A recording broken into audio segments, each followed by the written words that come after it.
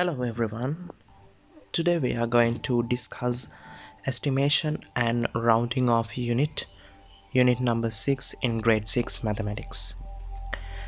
This unit consists with two major parts that is estimation part and rounding off part. Today we are going to discuss about estimation part. First of all, let's see what is the meaning of estimation because it is new to you. Finding a close value for the number of items there are in a certain collection of items without counting the items but using a suitable method instead is defined as estimation.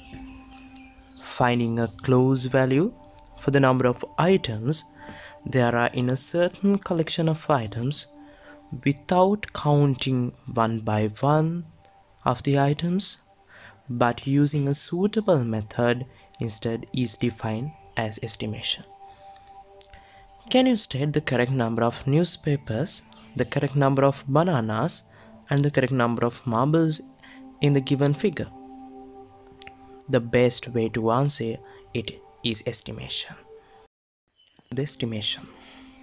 We can do the estimation by finding a close value to the total number of items by considering the number of items there are in a portion of the collection. In this method, the portion that is considered is taken as a unit and the total number of items is estimated by considering the number of items there are in the unit. Let's discuss an example. The figure shows two stacks of copies of the certain newspaper. There are 10 newspapers in the stack B. Estimate the number of newspapers there are in stack A. It is clear by making a comparison of the heights of two stacks using the divided line in the figure that the height of stack A is roughly 4 times the height of stack B. So the number of newspapers in stack B is equal to 10 that is already given in the question. So the number of newspapers in stack A is approximately the 4 times of 10. So the answer is 40. Let's take another example. Figure P shows a glass container filled with marbles that were for sale in a certain shop. Figure Q shows the same container after 16 marbles were sold. Estimate the total number of marbles there were in the container initially. You can see the space was initially occupied by the marbles is about 7 times the space that has been emptied by the sale of the marbles. 1, 2, 3, 4, 5, 6, 7.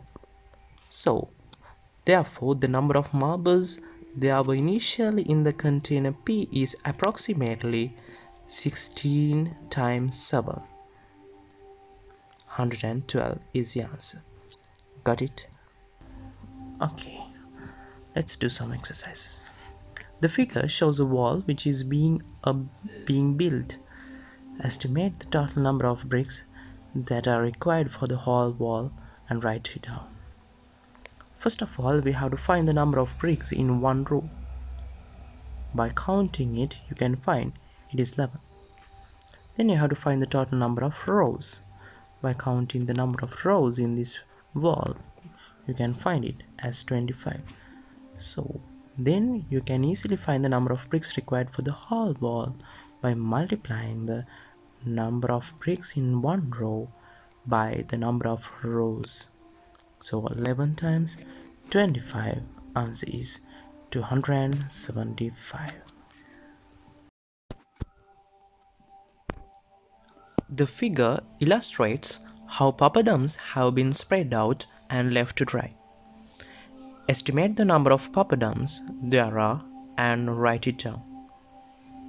So the best way to do this, first of all, you have to separate this into some units. You can easily see there is one unit there. So first of all, you have to find the number of papadums in a unit. You can count it and find it should be 14. Then you have to find the total number of units in the given figure. 1, 2, 3, 4, 1, 2, 3, 4, 5, 6. So 4 times 6, it is 24. Then you can find the total number of papadums very easily by multiplying 14 by 24. So the answer should be 336. If you can understand this, you can do it in one sentence. The figure illustrates how 11 books have been placed in a compartment of a book rack.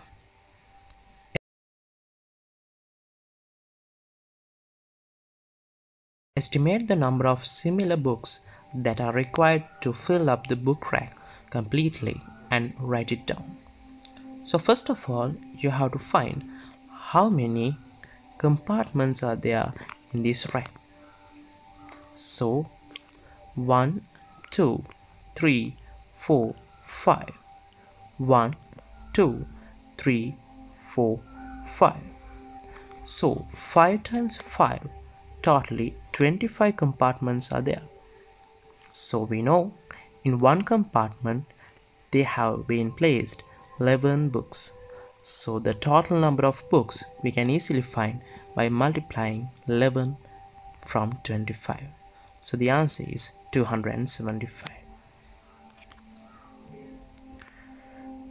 Finally, in a certain school, there are three parallel classes in each grade from grade 6 to grade 11 named 6A, 6B, 6C, 7A, 7B, 7C, etc.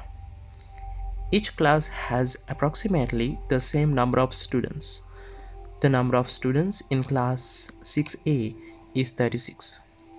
Estimate the total number of students there are in the school in grade 6 to 11 and write it down. So first of all, you have to find the total number of classes from grade 6 to 11. They have mentioned there are three parallel classes in each grade. So from grade 6 to 11, we have to find how many classes are there. Grade 6, grade 7, grade 8, grade 9, grade 10, grade 11. So 6 classes are there. So 3 times 6, 18. Then you have to find the number of students in a class. They have already given that as 36. So the total number of students from grade 6 to 11 you can easily find by multiplying 36 by 18. So the answer is 648. So that is the estimation part.